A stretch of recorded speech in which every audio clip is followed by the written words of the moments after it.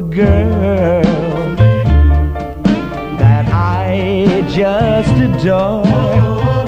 The girl that I'd do anything for.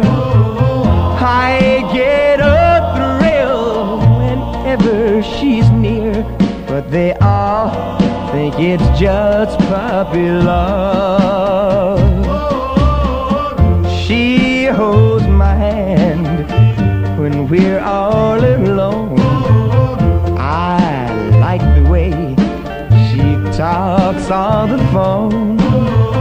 My friends all say you're too young to know, for they think that it's just puppy love. The plans we made for the future the class ring she gave to me were all part of our young love. But how old must young lovers be?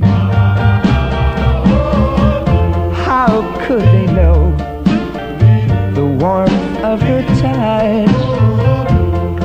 The reasons why I love her so much.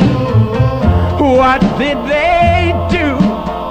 For they were young too, and they once had their own puppy love.